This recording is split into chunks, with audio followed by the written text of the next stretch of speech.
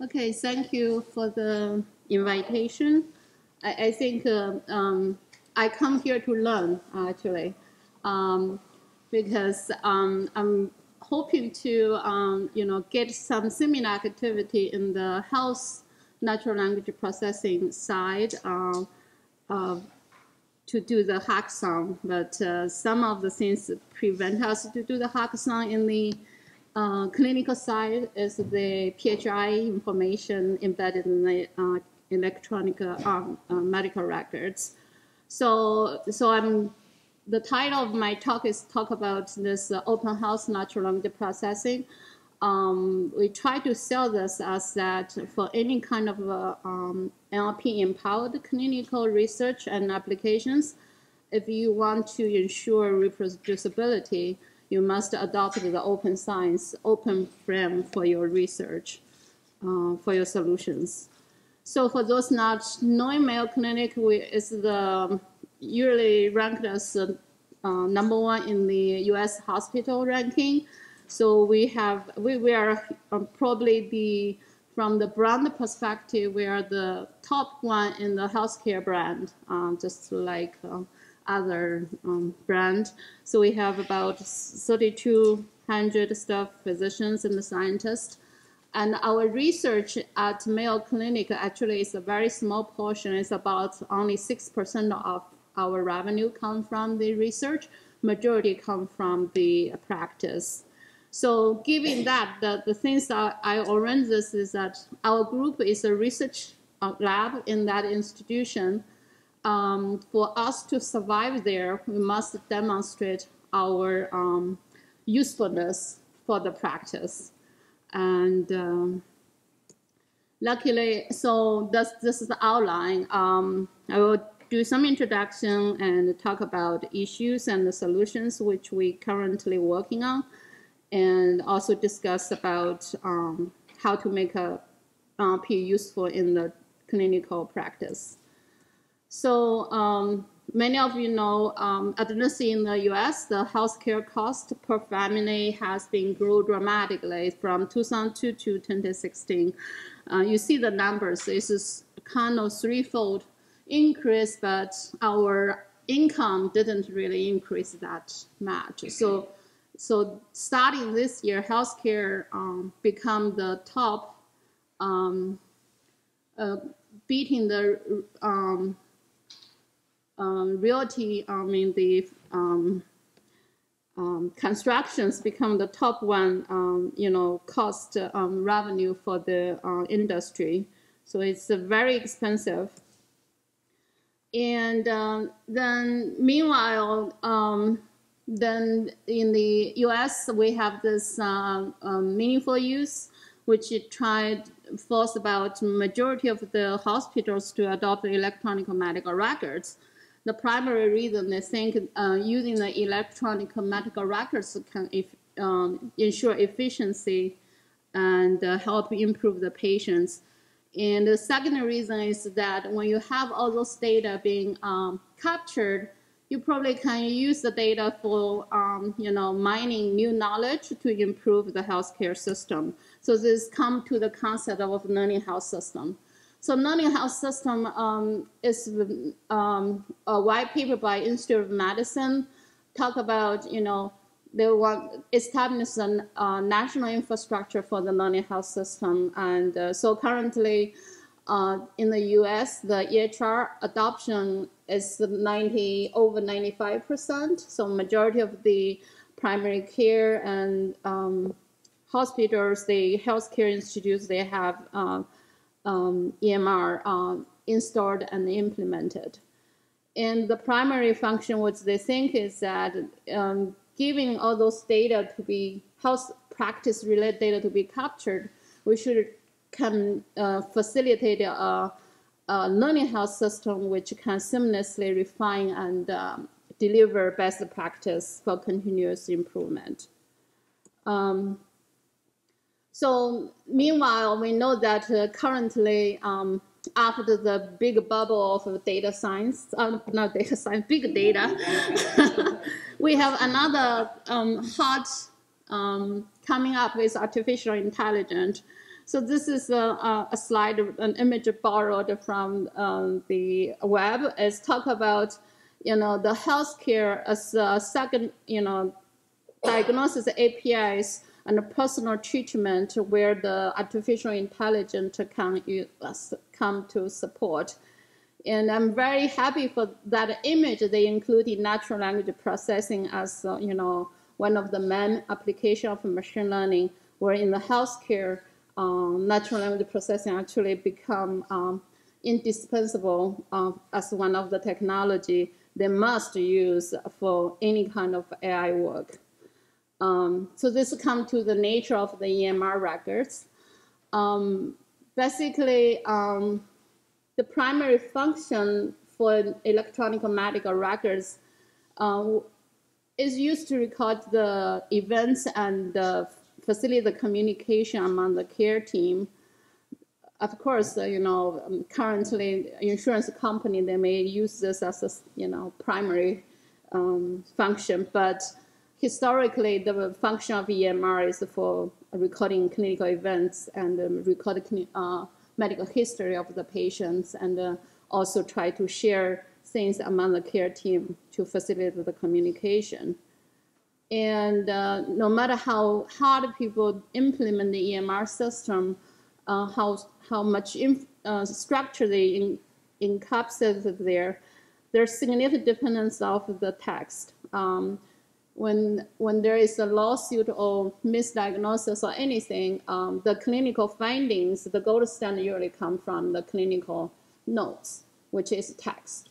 So um, even you have labs or those other things, if you don't document it when there's issue coming up, um, still the text is the part which is considered as the gold standard. Um, the lab, when, when people use the administrative billing data as a surrogate for clinical data, they can introduce a lot of problems one significant issue is the coding. Um, I heard the semantic interoperability here. Um, actually, in the medical domain, we did some experiments evaluating the intercoder agreement, we only have about 55% intercoder, intercoder agreement when they assign the diagnosis codes for, for, for encounter. So it's pretty low. And um, so the second thing we found is the incomprehensiveness, and this in that same study we also found about 20 to 30 percent of the codes were not really um, captured um, by the coders when they assign the billing codes. So those can be when, when you come to also to the rare disease, complex disease, there's also some misleading part. So so in general, um, we, we must use natural language processing or must be have a way to deal with clinical narratives uh, in order for any kind of meaningful use of the EMR data for downstream application. Um, and uh, so we, we always, we, we setting our LPS that we come to rescue, we can bridge the gap between your human beings and the computational system. Um, and there's um, evidence to to um, to showing that NLP can be leveraged for detect medical errors and assist diagnosis of facility research. Um, so this is um, generally how NLP being used for uh, mining um, for EMR-based uh, research projects. So you first have the practice generated um, real-world um, clinical data. So those are the EMRs. For structure part, uh, we, we, we still needed to go through the normalization due to the different EMR system. They may implement different coding mechanism. So there's a normalization or standardization in um, um, part of the picture. But for unstructured data, um, the ability to get the information out of the clinical text is very important. So this has been um, showing many different applications, uh, cohort identification, data abstraction, healthcare quality, and uh, all those different pieces. And um, so when uh, I show this as a, one of the things that, I, as I mentioned, the one when we deal with the use of uh, NLP in the clinical environment, depending on the use case or application, the semantics there can be a little bit different. And how exactly the things be used can be different. This is a simple case for heart failure. So we know heart failure, some of the information coded in structured, some of the information coded in unstructured. Uh, like a problem list depends on the EMR implementation. Some are in some institutions are structured, some institutions are unstructured. And also the quality of life findings and the ejection fraction depends on the institution. Some are structured, unstructured, and also medication. So, however, when you talk to, so for those three different use cases of uh, heart failure, uh, I mean, for the NLP system for detecting heart failure related concepts, what they want are actually very different. Um, ask the clinical researcher what they want to identify heart failure cohort for GWAS study. What they want is, uh, you know, their definition of heart failure patients is different from those for decision support. It's also different from the quality reporting, which is a lot of times um, they are uh, using the, um, you know, kind of standard specification by the quality agency. So, so our semantics when we're dealing with NLP happen a lot depending on the, the, the exactly how we deal with the, how we develop that NLP algorithms highly depends on how the downstream application will be um, leveraged. Um, so for those not familiar with the electronic medical records, you know, they're, they look quite different from literature. Um, so you will see um, PHI information there. For example, the 84-year-old, that's the PHI information. The last name is PHI information, Mrs. Jones. But besides that, you have the clinical concepts there, you know, which many align with those uh, couple of semantic types, diagnosis, environment, medication, family history. They use some standard vocabulary, uh, ICD-10 RxNorm. Those are meaningful use standards uh, adopted in the US.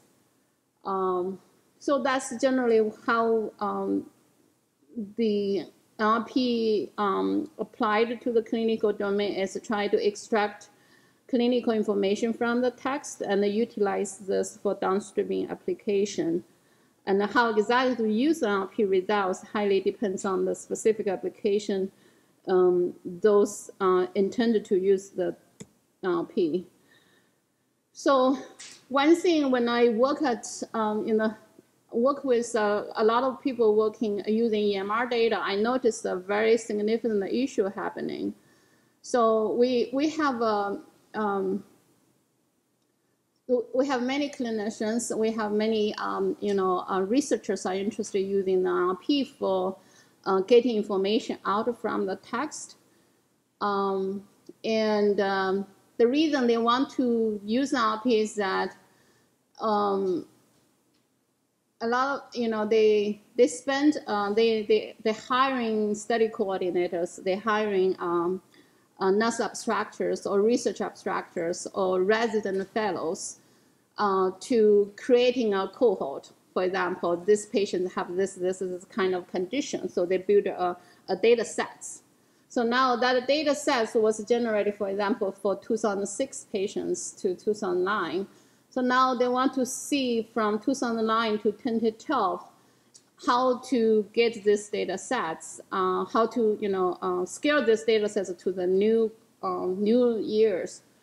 And what happened is that um, the nurse abstractor retired, uh, the residents graduated, and the actual how exactly they creating that data sets, they have actually the PI, the clinician have no clue. There's no documentation left behind. And uh, sometimes they also don't have a, they don't really know where the data set is because the PIs generally not deal with the actual data sets themselves. It's the statistical program analysis, and the statistician really have that data sets. So this is happening a lot, and um, this is giving me a, you know, as a natural language processing person, we generally say if you already have a data set being curated from the EMR, I can use that for distant supervision, or I can use that to do a machine learning system to, to train an NLP algorithm to automatically scale to the later uh, years. But they, they don't have that data sets, and the se second thing, they don't have detailed abstraction protocols at all um, appearing anywhere. So this uh, get some issue, and then I just found those picture, uh, the picture from the PLOS 2015. They show about 50% of the annual U.S. Pre preclinical research spend are subject to reproducibility errors. I can almost guarantee in the current EMR-based, you know, a lot of, at least the US, a lot of people use EMR for their clinical research. I can guarantee the reproducibility, especially the data reproducibility is very, very low. Um, you know, I so there's a standard, you know, there's the best, uh, how do I say, the um, uh, good practice, uh, you know, approach. And all those things are not really defined yet in the EMR-based research. Um, so, it, so it's this is what I mean. So, so I selling this as you know, if you really want to scale up, if you really want to um, have a um, a better data reproducibility in clinical research, um, leveraging the practice-related data, like EMR data, you need an automatic approach. NLP is the solution for you, natural language processing. Um, so the argument is the traditional manual efforts seldom ensure data reproducibility. And um, we already approved low inter intercode agreement, only 55%. And there's a lack of specification uh, metadata around how the data set was created. If you want a different institution to reproduce um, the same study, it may, it's very difficult to reproduce that. And also there's a poor traceability associated with the data because the data was, the data sets generated using EMR data, this is come from abstraction process, exactly how the nurse was getting, nurse abstractors getting the data from EMR to that variable values. They don't document it. We don't know exactly how that happened. And uh, when we ask the nurse abstract who create the data, some of them tell me they use their instinct um, to, to handle that. And uh, so so as I said, with so much potential for EMR-based things, and um, this is the um, a number of publications retrieved using natural language processing as a keywords mesh term, and using electronic medical records as the keyword mesh terms. And uh, we see dramatic in, uh, increase of the EMR appearing uh, retrieved using PubMed records. Um, you know, increase exponentially. But if you look at how many of the, you know, in the PubMed mainline research using natural language processing uh, keywords, um, they're very, it's stable. From 2008 to now is, actually from 2004 until now is like um, flat.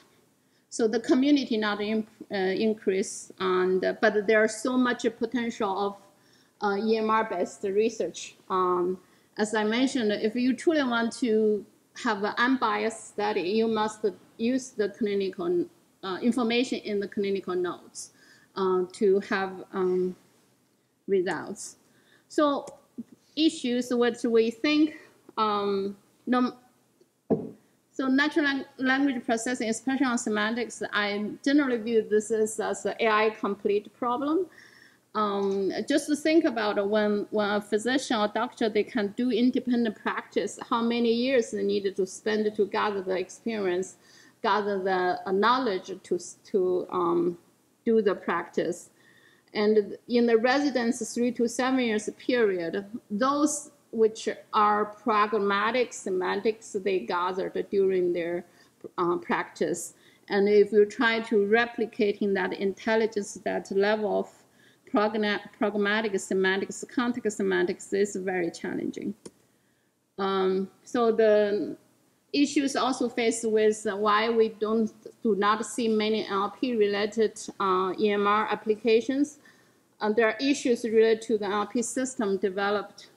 Um, we did a review uh, of the latest uh, from 2009 to 2016 um, on the use of um, NLP technology to extract information from text. we found there are only limited number of institutions using the technology, including least in the U.S. We have VA, which have um, major, um, many um, use case of NLP for their technology. We see, um, you know, the I2B2 community, a couple of, you know, only about a handful of institutions uh, use the NLP technology.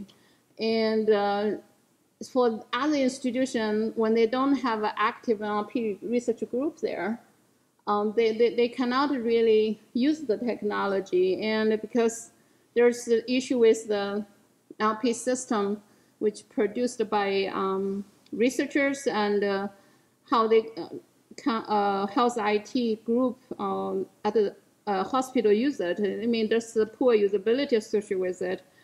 And majorly, the algorithm has the you know portability issue, and which we'll discuss in, in, in the later, and also the generalizability issue.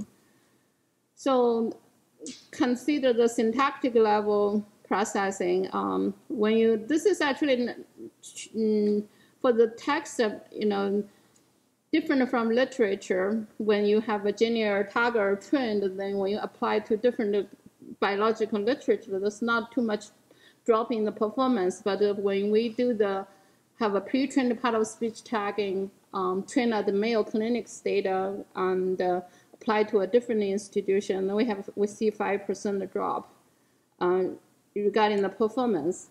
When you're talking about the um, specific transportability of uh, um, NLP algorithm without any customization, you see the original F measure is about at 50% after you have some customization, of course, it's increased. But it give you some point is that if you don't have anyone in that institution know how to do training of NLP system,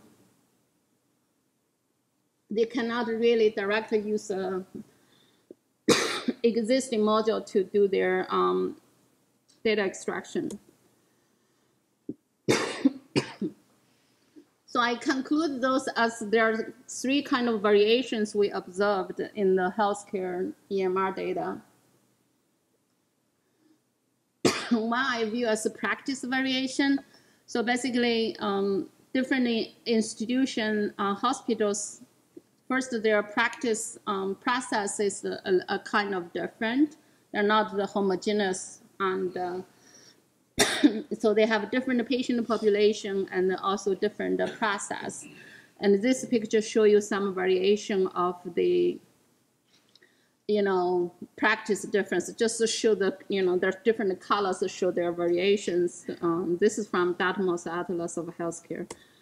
And they also have uh, EMR variations. So um, we are currently have an ongoing study, try to study um, how the Epic and Cerner and GE Healthcare, those three different systems, how their EMR um, uh, documentation uh, impacting the practice.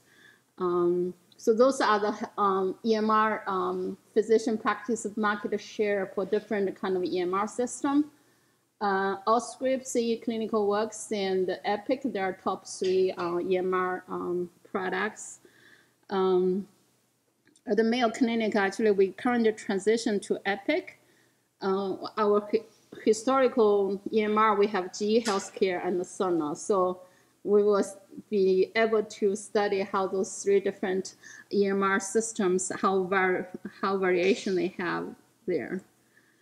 And the most important things which we call semantic variations, um, and we observe a lot the, the semantic variation um, dramatically different. The, you know, the number of years um, the physician was, um, was in practice, and also the um, the specialists they are in. So when we mention, when we talk about, uh, for example, how do we consider patient to have asthma?